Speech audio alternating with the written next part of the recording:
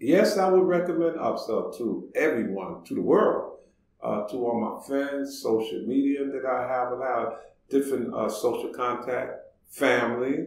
Uh, so I would, I would, I have been because I, I have a, a, a website, so I put that on there where uh, I give myself as example, you know, where people start struggling, they have a house, they wonder how they're gonna pay their mortgage, where they're gonna go at because they ready to take that from them. They have a car.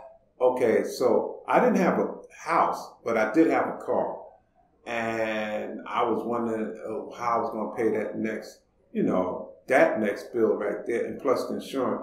But that they help you out with that. They show you what to do, uh, and all of that was resolved.